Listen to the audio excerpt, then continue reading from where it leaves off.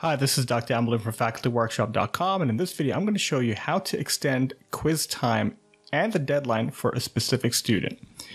I'm logged into one of my Moodle courses, and I'm going to scroll down to a syllabus quiz. Let's say that I've got a student who is authorized to receive extra time on a particular quiz. I'm going to go ahead and click on the quiz.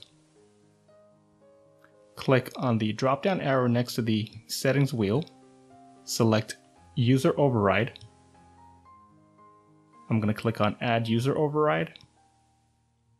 And I'm going to select a student from this drop down menu right here. And I'm going to go ahead and give student number one twice as long to complete this particular quiz. You will see that this quiz is available for five days and is usually 15 minutes. However, in this particular student's case, I'm going to give the student 30 minutes to complete the quiz. We're going to save and you will notice that this particular student now has 30 minutes to complete the quiz. Now, if I wanted to go and extend the deadline for that particular student or another student, I'm going to go back to the quiz itself. I'm going to click on the drop down menu, click on user override.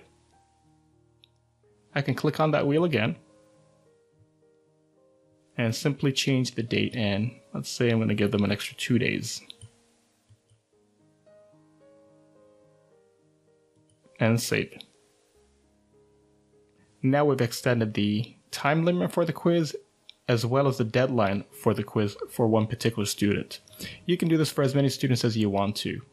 If you found this video useful, please give it a thumbs up and subscribe to this channel to be notified as soon as we release another video. If there's something specific that you would like to learn, please post your request below this video in the comments section. Thank you for watching.